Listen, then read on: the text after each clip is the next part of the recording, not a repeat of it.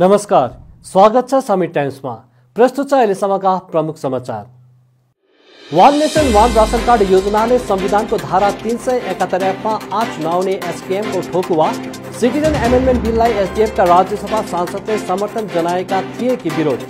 Jacob थालिङले उठाए प्रश्न। शहरी विकास मन्त्री अरुण उप्रेतीले गरे पहिरोग्रस्त मल्ली बजारको भ्रमण।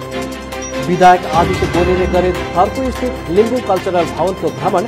बताए पर्यटन केन्द्रको रूपमा विकास गर्ने सरकारको लक्ष्य। लेप्चा लिटरेरी अर्गनाइजेसन बिल्डिङको जीर्णोद्धार एवं बढोत्तरीको माग गर्दै जिल्लापाललाई चढाइयो ज्ञापन अनि टिकाकरण अभियानलाई लिएर आज स्टेट टास्क फोर्सको समीक्षा बैठक। अब समाचार विस्तारमा।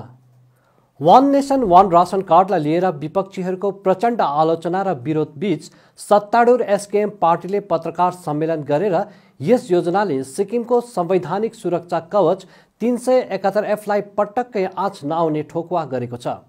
हुन त पार्टीले यसअघि प्रेस बयान जारी गरेर पनि यो कुरा भनिसकेको छ तर आज पार्टीका प्रवक्ताद्वय जेकब खालिङ र सिपी शर्माले विपक्षीहरूको एक एकवटा आरोप र प्रश्नको जवाफ दिँदै one nation one ration card सम्बन्धमा पार्टी र सरकारको अडान स्पष्ट पारे। खालिङले one nation one ration card योजनालाई लिएर विपक्षीहरूको विरोधलाई मूर्खता अज्ञानता र राजनैतिक अपरिपक्वता बताउँदै सिक्किमवासीलाई दिग्भ्रमित पार्न विपक्षीहरूले कुरा बुझेर पनि नबुझेको जस्तो गरी राजनीतिक चाटुकारिता देखाइरहेको आरोप लगाए। खालिङले विशेष गरेर एसडिएफ पार्टीका प्रवक्ता एमके सुब्बाका आरोप र प्रश्नहरूलाई प्राथमिकतामा राखेर पार्टी र सरकारको तर्फबाट जवाब दिए। सुरुमै उनले one nation one ration card सन्दर्भमा सिक्किम सरकारले सर्वोच्च न्यायालयमा हलफनामा बुझाएन भन्ने सुब्बाको दावीलाई ठाडो खण्डन गरे। एसकेएम सरकारले सर्वोच्च न्यायालयमा तिन जुलाई दुई हजार बिसको दिन एकै दिनमा दुईवटा हलफनामा पेश गरेको उनले बताए।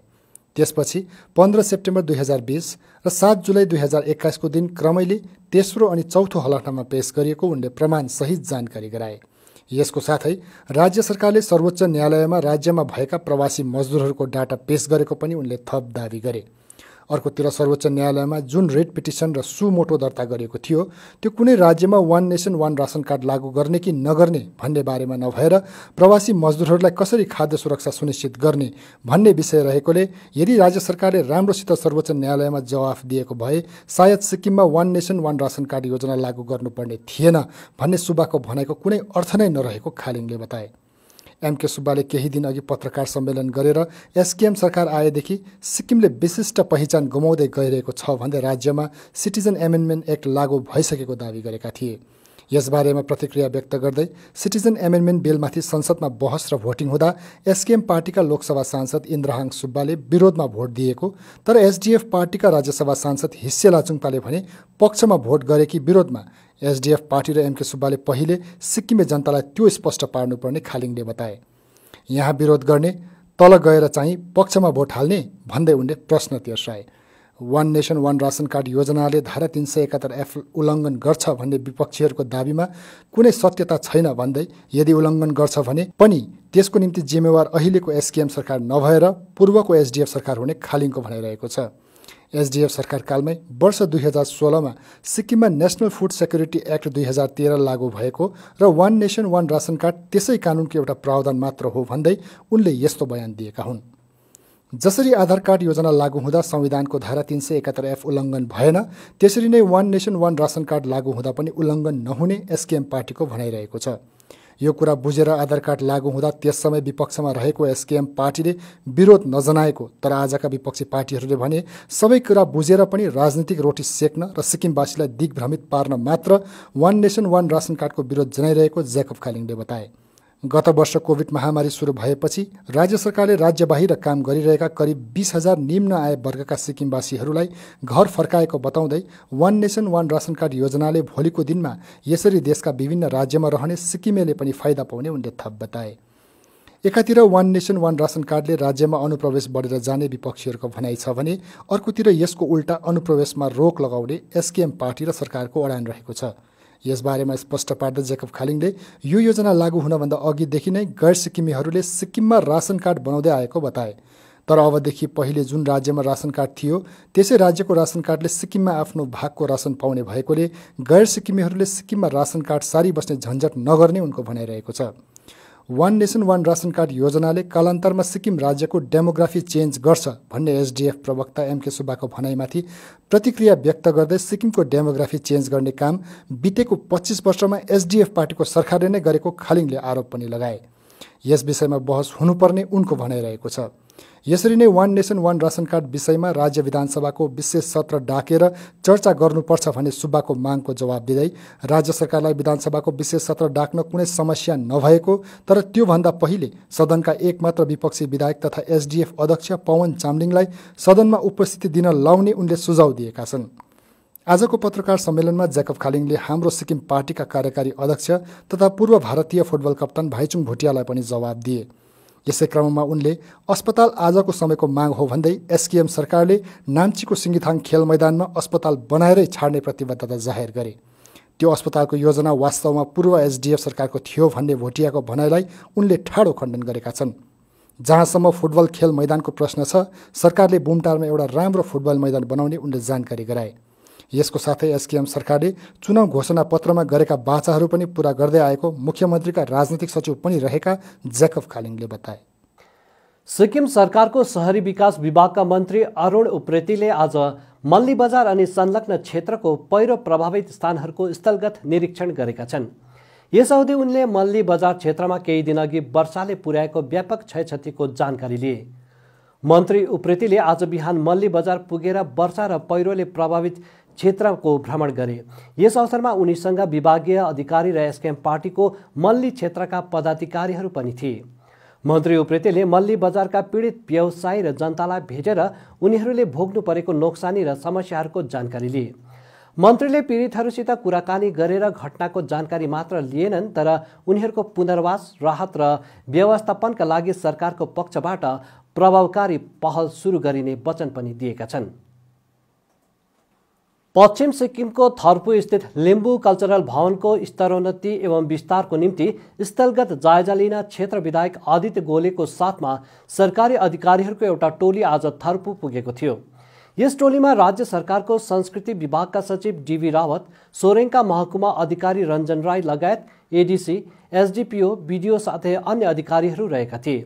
भ्रमण अवधि विधायक र सरकारी अधिकारीहरूको टोलीले श्रीजङ्गा याक्टुङ डाखुम फुजुम्बोका अध्यक्ष सुखबीर लिम्बू साथै अन्य सदस्यहरूसित भेट गरेर कल्चरल भवनको बढोत्तरीको सन्दर्भमा विभिन्न पक्षलाई लिएर चर्चा गरे।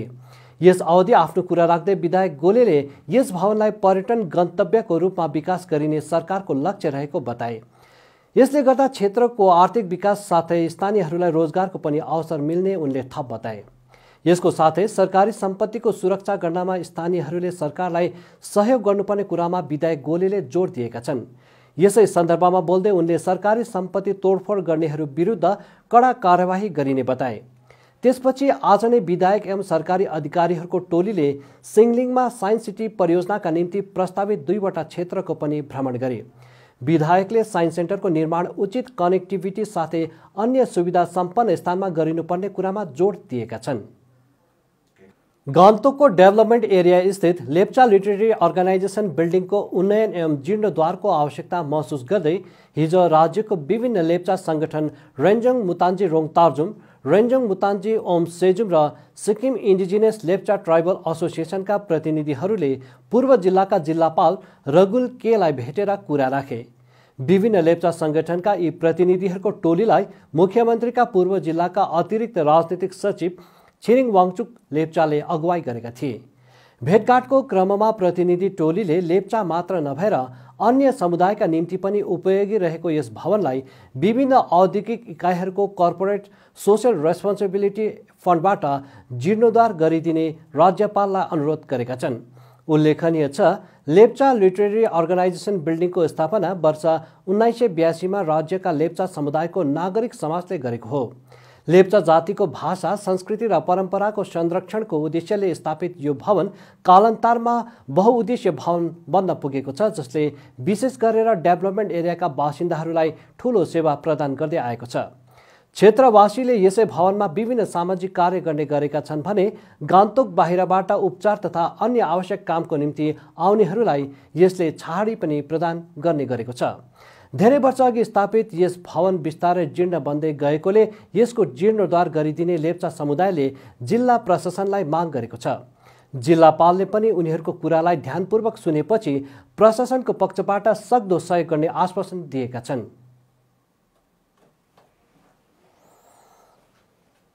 पूर्व सिक्किमको आसमलिङ्जे क्षेत्र अन्तर्गत गैरी गाउँमा स्थानीय दुध उत्पादक सहकारी समितिको एउटा जनसुनवाई कार्यक्रम आज सम्पन्न भयो।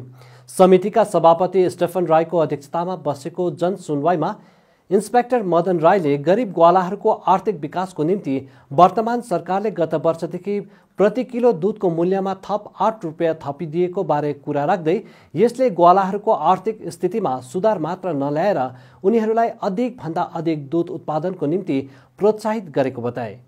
यस गरिबमुखी पहलको निम्ति गैरीगाउँ दुध उत्पादन समितिले राज्य सरकार मुख्यमन्त्री पिएस गोले र कृषि मन्त्री लोकनाथ नेपाल साथै सिक्किम मिल्क कोअपरेटिभ युनियनका महाप्रबन्धक डाक्टर एबी कार्कीप्रति आभार प्रकट गरेको छ।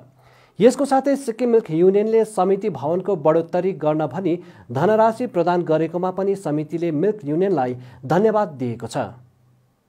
प्राप्त जानकारी अनुसार युनियनबाट प्राप्त धनराशिमा स्थानीय पञ्चायतहरूले थप सहयोग गरेपछि समितिको भवन एक तल्लामाथि उठाइएको छ।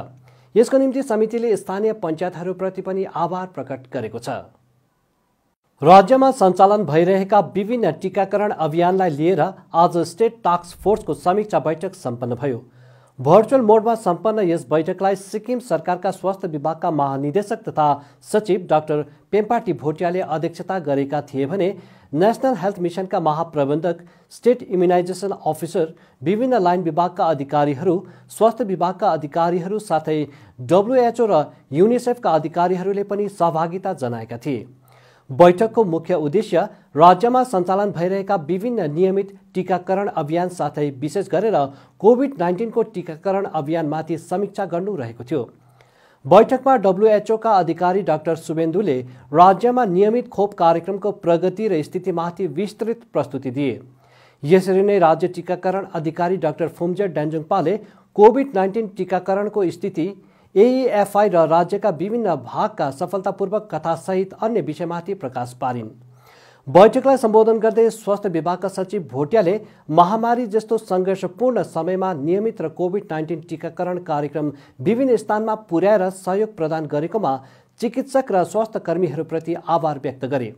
उनले सबै डिआरसिएचओलाई एक सय प्रतिशत टिकाकरण आयोजना गर्ने प्रयास गर्ने आग्रह गरे। यसरी नै डाक्टर भोटियाले एडभर्स इफेक्ट फ्लोइङ इम्युनाइजेसन रिपोर्टमा सुधार गर्न जोड दिँदै विशेष गरी गर्भवती महिलाहरूलाई आफू र नानीहरूको सुरक्षाको लागि कोभिड नाइन्टिन टिका लगाउने प्रोत्साहन गर्न आग्रह गरे। हवस् त आजलाई यति नै। भोलि फेरि अन्य समाचारहरूको साथ उपस्थित हुनेछौँ। तबसम्मलाई आज्ञा दिनुहोस् नमस्कार।